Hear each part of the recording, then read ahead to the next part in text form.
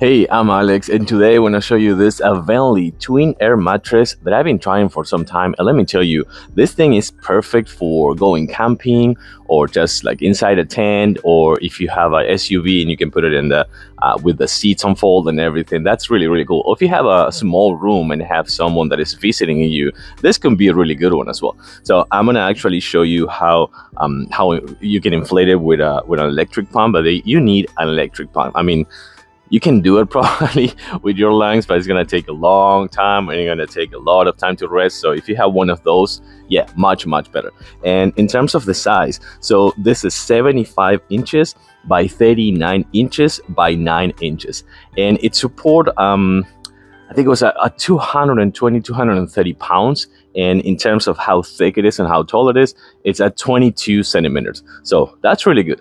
Let's inflate it right now.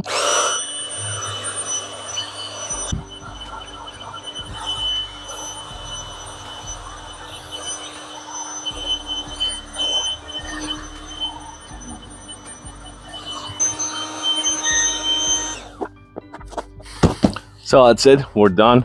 You can see how thick it is and now I'm gonna lay it right now.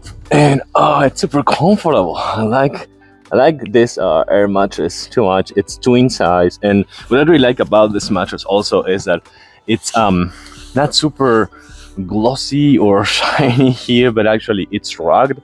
So that means that uh, your your bed sheets are gonna stay in place or your blankets are gonna stay in, in place and it's really really soft to the touch. So you can see I'm uh, 5'10". Actually, I can go a little bit right here.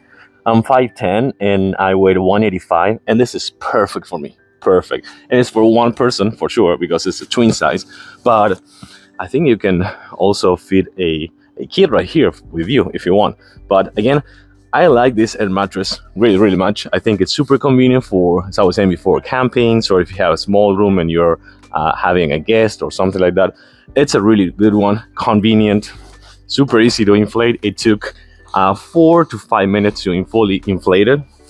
I like it, I recommend it. Hope I help you with a short review and see you soon in my next video. Thank you.